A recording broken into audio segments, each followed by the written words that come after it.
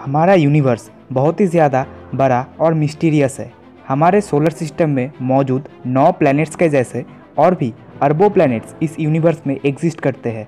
आज की इस वीडियो में हम साइंटिस्ट द्वारा खोजे गए कुछ ऐसे ही प्लानिटरी बॉडीज़ के बारे में बात करने जा रहे हैं, जो कि बहुत ही ज़्यादा मिस्टीरियस है।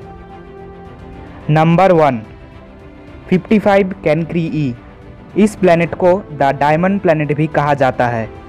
ये प्लैनेट हमारी धरती से 40 लाइट ईयर्स दूर है। इस प्लैनेट का वन थर्ड हिस्सा अनपॉलिश डायमंड से बना हुआ है। एक्चुअली इस प्लैनेट का एटमॉस्फेयर मोस्टली कार्बन से बना हुआ है। इस प्लैनेट का एवरेज टेम्परेचर है 2400 डिग्री सेल्सियस। इस प्लैनेट में अपने पेरेंट स्टार की हीट एंड प्लैनेट के प्रेशर के चलते यहाँ पर कार्बन डायमंड में कन्वर्ट हो जाता है। अगर इस प्लेनेट की करंट वैल्यू की बात करें तो इसका प्राइस है 26.9 नोनिलियन डॉलर। एक नोनिलियन का मतलब होता है एक के पीछे 30 zero. Number two H D one eight nine seven three three B ये प्लेनेट अर्थ से 62 लाइट ईयर्स दूर है। इस प्लेनेट का एटमॉस्फेयर मोस्टली सिलिकेट एटम से बना हुआ है, इसीलिए ये प्लेनेट हमारे अर्थ के जैसा ही ब्लू है। इस प्लेनेट में 8,700 किलोमीटर पर आवर की स्पीड से बहुत तेज़ हवा चलती है जो कि साउंड की स्पीड से सात गुना तेज़ है। और इस प्लैनेट में नॉन स्टॉप कांच की बारिश होती है। इस प्लैनेट का एवरेज प्लानिटरी टेम्परेचर है अप टू 900 डिग्री सेल्सियस इसीलिए यहाँ पर सिलिकॉन पार्टिकल्स पिघल के कांच के रूप में बरसती है। Number three C F B D S I R two one four nine zero four zero three ये planet C F twenty one के नाम से भी जाना जाता है। ये प्लैनेट एक स्टारलेस यानी कि एक सनलेस प्लैनेट है। ये प्लैनेट दो से तीन बिलियन साल पुराना है। ये प्लैनेट हमारी धरती से 130 लाइट ईयर्स दूर है।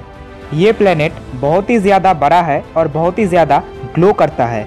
इस प्लैनेट का मास जुपिटर से पाँच से सात गुना ज़्यादा है। ये प्लैनेट इंफ्रारेड रेज और हीट को डायरेक्टली स्पेस में जेनरेट करता है।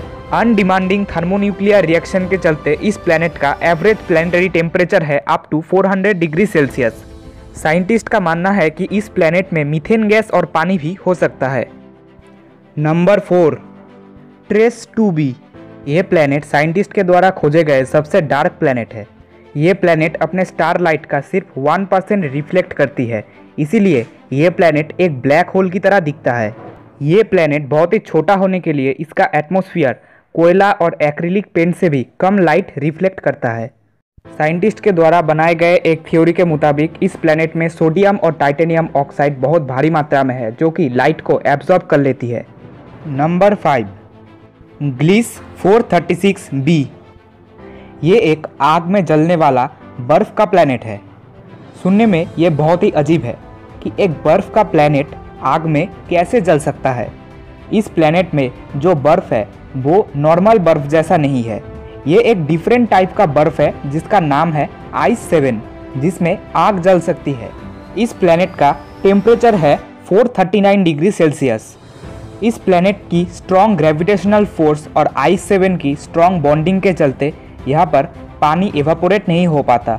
और इस प्लेनेट के एटमॉस्फेयर में हाइड्रोजन और हीलियम गैस भी मौजूद है।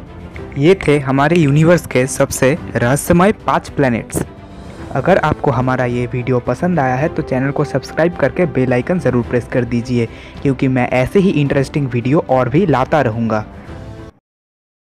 Thanks for watching stay home stay safe